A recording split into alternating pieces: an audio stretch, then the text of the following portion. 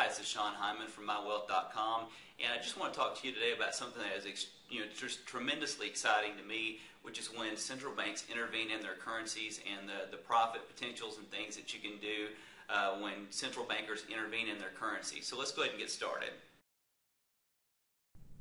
Be sure to check out today's written blog at www.mywealth.com/blog. I want to talk to you today about the Swiss are flexing their muscles by intervening in their currency yet again. And you'll see what I'm talking about. Back on March 12th, the Swiss National Bank, which is their central bank, intervened in their currency by selling it furiously. See what I mean by checking out the chart on the next slide. I mean, you can see here I've accented it by the uh, the black lines, uh, their last intervention back on March the 12th. Now, this is, you know, interventions with the Swiss are rare. I mean, this hasn't happened since like uh, 1992. And so it's not like they have a, uh, a, bias towards intervening in their currency. They're very rare. But you can see a furious uh, 800 pip intervention over about a five day period, most of it happening in one single day. Uh, I think like 500 pips or so of it happened in, literally in one single day. And keep in mind, this is a currency pair that trades about uh, 80 pips, 78 to 80 pips or so a day uh, on average. And so this is just enormous amount of uh, movement for this. Yet it still uh, stays trapped in its overall uh, downtrend. But after this time, they quickly drew a line in the sand at about 150 after their exporters had gotten crushed last year when their exports dropped a full 17 percent. So let's check out this next slide and you'll see what I mean there. I've drawn this to emphasize this, what I call the line in the sand.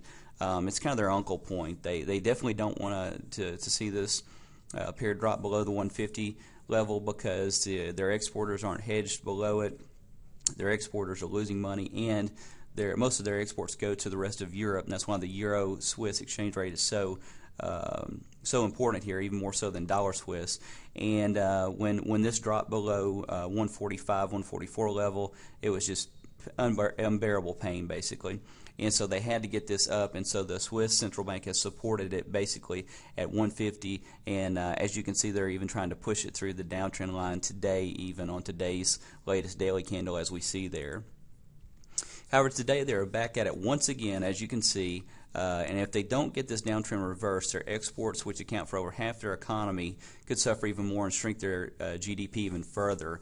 Uh, right now, it's anticipated that their GDP could shrink between about 2.5 and 3 percent. So they've, they've got a huge uh, incentive to get this thing reversed.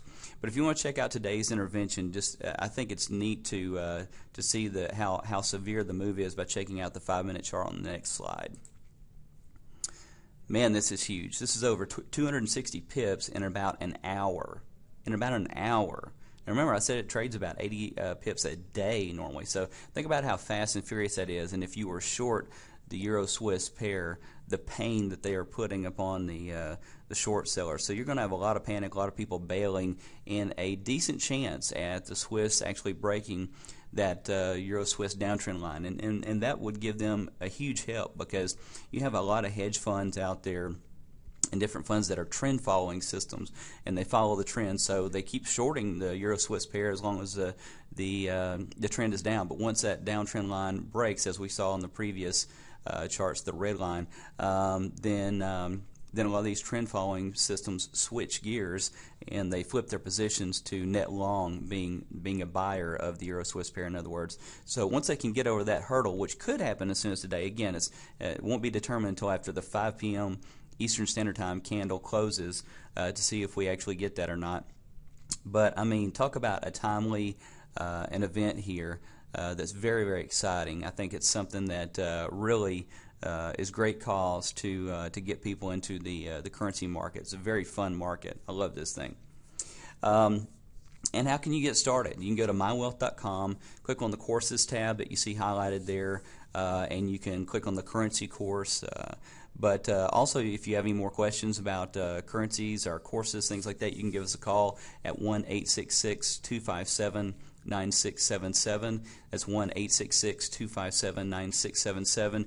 You can contact us at our email at sales at mywealth.com uh, as well. But whatever you do, don't wait. Get in a course and get educated today at www.mywealth.com. Hey, I hope you enjoyed that today. To me, there's nothing more exciting than watching central bankers go in there and muscle up and push around the uh, market. It's not every day that this type of stuff happens, but the one thing I love about this market is there's always something exciting happening. The world's a big place. There's always governments, central bankers, politicians spouting off, you know, all kinds of different things that move currencies in this market and uh, provide, you know, just tons of potential for profit. And uh, so I just want to encourage you to, uh, to get into a course. Go to mywealth.com, click on our courses tab, enroll in a course today, and, uh, and see how you can get started and diversify into this uh, market, the currency market. Thanks so much for attending. Bye bye.